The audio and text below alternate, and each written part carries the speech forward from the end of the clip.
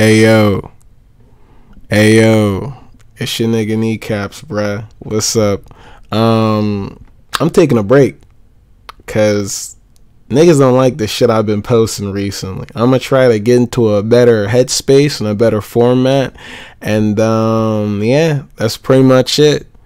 Uh, I'm probably gonna make this shit like have some clickbait ass title like um, I quit I quit. I quit. I've had it or something like that. I don't fucking know. But yeah, that's pretty much it. Peace, nigga. 007, I use my words as a weapon. Fuck this test, I'm guessing.